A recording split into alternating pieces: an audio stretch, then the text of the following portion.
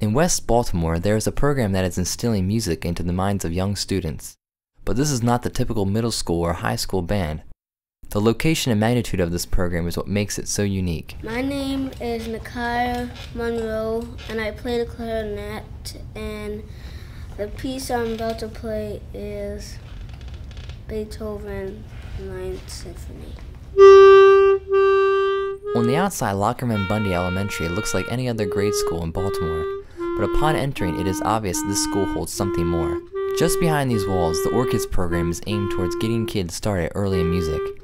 We had the privilege of sitting down with one of the people responsible for spearheading this operation. Dan Trahey, artistic director and co-founder of the Baltimore Symphony OrchKids program. Dan and his fellow staff worked together to get instruments into the hands of kids at a much younger grade level. The average grade in America is somewhere around halfway through the fifth grade that they start instrumental music. And uh, so we've taken that down to the first grade here. The studies show that the earlier you start kids in school, you know, the, the easier it is to get them acclimated. It's with everything. Foreign language is the exact same thing. Start them early. They get it. The program stems from a strong and fruitful collaboration between the Baltimore Symphony Orchestra, Lockerman Bundy Elementary, and the surrounding community. Number one, Marin Alsop, the conductor of the Baltimore Symphony, had a, uh, a vision to activate the Baltimore Symphony in the Baltimore community through youth. And number two, was this huge music program in Venezuela called El Sistema, teaching about 400,000 poor kids in Venezuela how to, how to play music and really how to be socially active through music.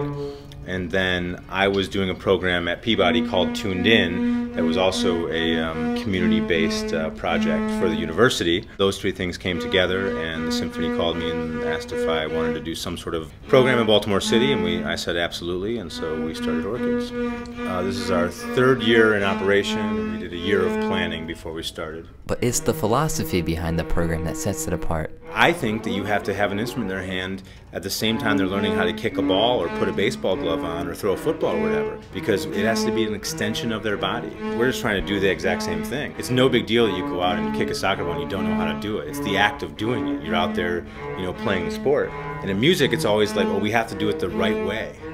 Like there's no no. Put the instrument in their hand. That's that's the most important thing because most kids aren't even getting that. The students attend school as any person their age would do, but after class is out, the kids stay to do their homework and practice their instruments. There you go. Huge breath and play the whole thing. Sing through the horn.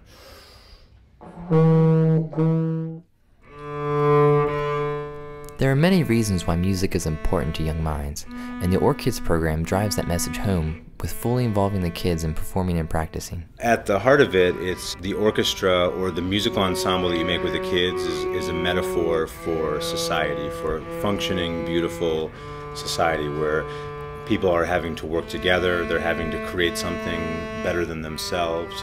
They have the opportunity to succeed in a structure. Sometimes they have to take direction, sometimes they have to be the ones who lead. They can climb up through a kind of a corporate ladder, so to speak, within the section, starting with you know only playing a few notes of the symphony, and then again all the way up until they're you know could be the the concert master um, actually dictating what the uh, violin section plays.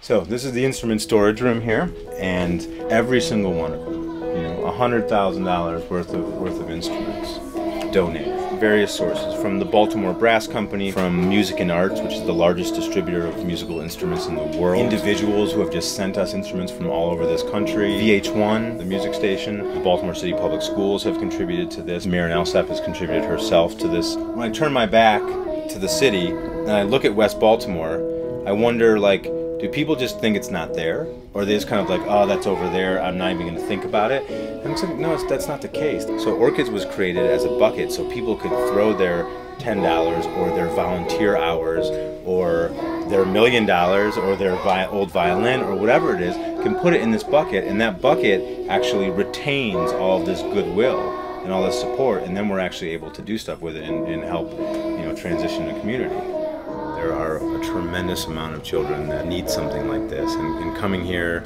and doing such a great job here just makes me realize how we're finding it to be effective all over the place. I mean, we only have one site in Baltimore, but you know, The OrchKids program has helped start sites all over the world, and I just think how much better it would be if we could actually offer this to all the children in Baltimore City.